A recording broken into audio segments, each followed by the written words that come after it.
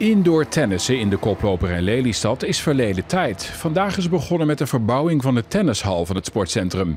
Eerst wordt er gesloopt, maar vanaf augustus zit hier gezondheidscentrum Kerngezond. Nou, hoofdzakelijk wordt het een uh, gezondheidscentrum uh, gericht op uh, fysiotherapie, maar ook diëtetiek, podotherapeuten, ergopraktijk, mogelijk verloskundigen. Ehm, dat wordt de basis van wat hier komt. Ehm, zoals wij dit zeggen, om mensen in beweging te zetten. En daarnaast vinden we het ook belangrijk dat mensen in beweging blijven. dus daarnaast zullen we ook nog wat andere sportactiviteiten, waaronder de fitness, die we nu al hebben, maar die gaan we wat uitbreiden. En uh, CrossFit uh, komt hier ook. Kerngezond zit nu aan het Maarland, maar is al 4,5 jaar op zoek naar een andere locatie. Ja, hoofdzakelijk omdat uh, de locatie waar we nu zaten echt gewoon te klein wordt. we groeien uit ons jasje daar. we missen gewoon facet in de, in de dienstverlening die we aanbieden, met name op het gebied van fysiotherapie. Um, en het zou daar ook gesloopt gaan worden een aantal jaar terug. Dus toen zijn we onze zoektocht naar een nieuwe locatie gestart.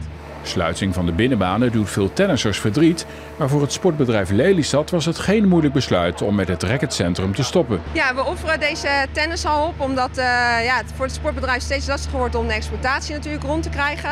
En wat we gewoon merken is dat uh, indoor steeds meer outdoor wordt. Door de alwedderbanen kunnen mensen tegenwoordig heel lang uh, buiten tennissen. Kerngezond en de koploper verwachten veel van de nieuwe samenwerking. we maken al gebruik van het zwembad. We geven daar nu zo'n 25 uur in de week of individuele therapie of groepslessen. Um, nou, dat komt nu gewoon veel dichterbij. Ja, je hebt dat om de hoek zitten. Ja, het, het zit in hetzelfde pand en uh, ja, dat is echt super mooi. Dat is echt een droom die waar komt. Nou, we krijgen natuurlijk een hele mooie positie in uh, Lelystad. Alles onder één dak.